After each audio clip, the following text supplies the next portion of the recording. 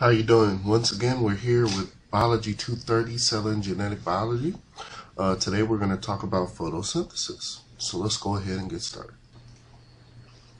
So to understand the light dependent and independent reaction, you also have to understand the electromagnetic spectrum.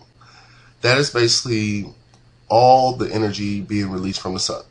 There are several types. You have gamma rays, X-rays, UV, uh, visible, uh, infrared, microwaves, radio waves. We actually tend to use a lot of these uh, forms of radiation.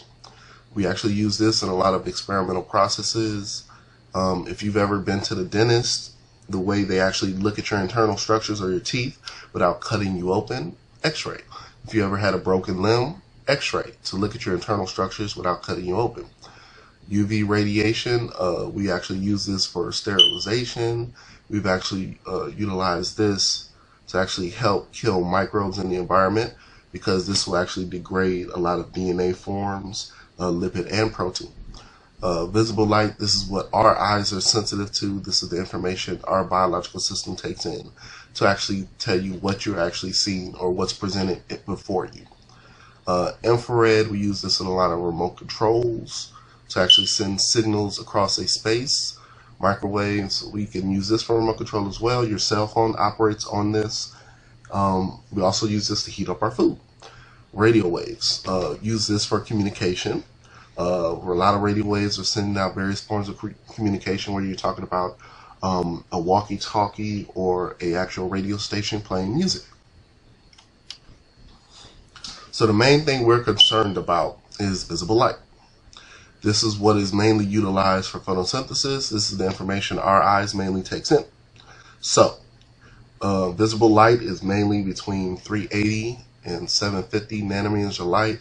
This may fluctuate a little bit, um, maybe all the way down to the 370 range to the 760 range, depending on the organism itself.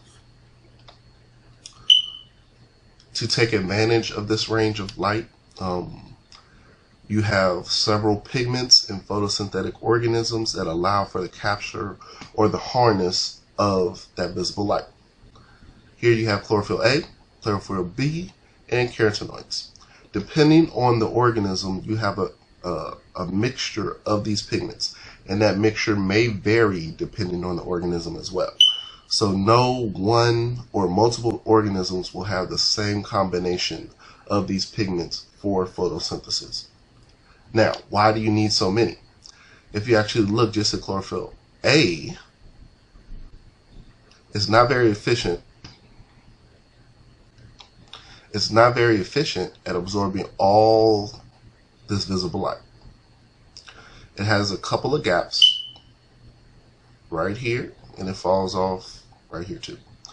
Now, chlorophyll B actually picks up the slack where chlorophyll A falls off it actually will absorb some of that energy being emitted somewhere between this 450 range and the 500 range, where the chlorophyll A is actually falling off.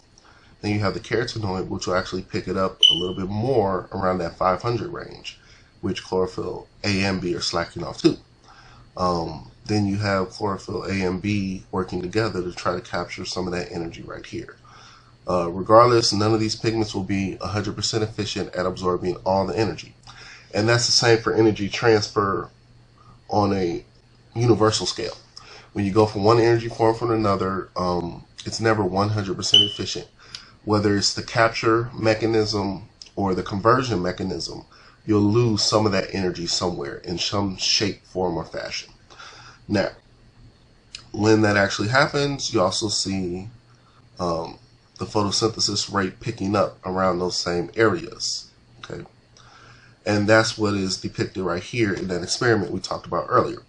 Uh, if you know photosynthesis is going on, how do you measure it? Well, you can measure it by the energy molecules being produced, uh, but a very easy way to do it is measure it by the oxygen being produced. And in this case, we introduce photosynthetic organisms with oxygen loving organisms and basically you saw the oxygen production, or you assume the oxygen production is picking up in this area, in this area, based upon the increase in productivity an increase of the population of bacteria in this area, in this area. So, when photosynthetic organisms harness energy from the sun in the form of a photon, basically what it does is causes that photolysis or hydrolysis. That's very important, not only because it releases that hydrogen ion, but it also releases electrons. The electrons have the negative charge. They're unstable. They don't want to really sit around too long. They keep bouncing from structure to structure or molecule to molecule in photosystem 2 and photosystem 1, um, trying to look for a home, trying to look for something to actually bond to.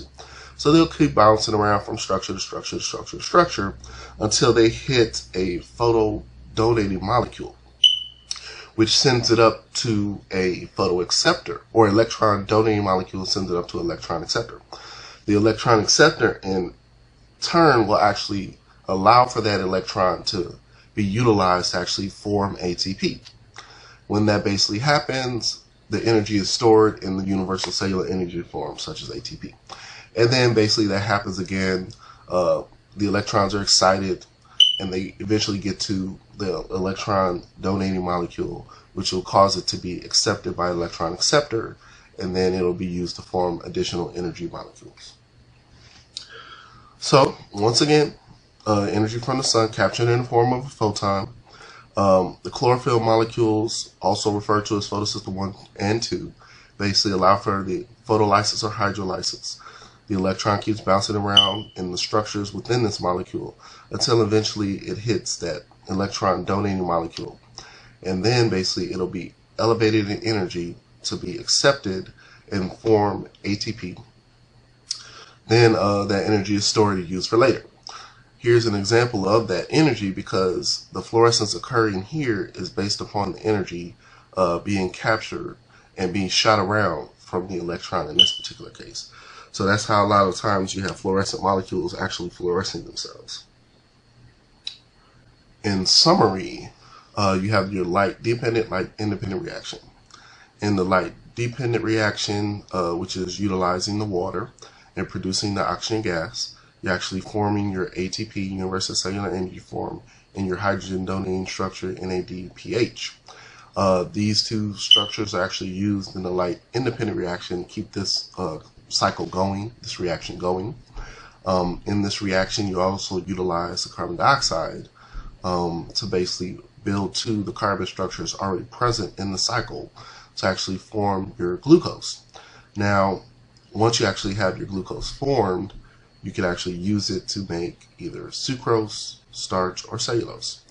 Now, the sucrose is used to transport energy throughout the entire uh, system if it's a multi-celled structure, like a plant, it transports energy to all the cells of the root, the shoot system, and then it takes it down to the root system. Uh, so that way all the cells are fed, even those that are not engaging in photosynthesis. Uh, some of the energy is stored immediately in those locations for later, uh, simply because there might be a time when uh, available light is low. So therefore you cannot engage in photosynthesis. Uh, so you want to have some energy stores a perfect example is the wintertime. Uh, a lot of plants mainly live off of the energy stores in the winter when photosynth uh, the amount of light is low, um, simply because there's not a whole lot of available water because the, the water is frozen in the form of ice.